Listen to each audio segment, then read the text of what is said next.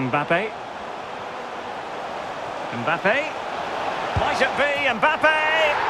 In it goes! An early opening statement in this match. And look at the celebrations.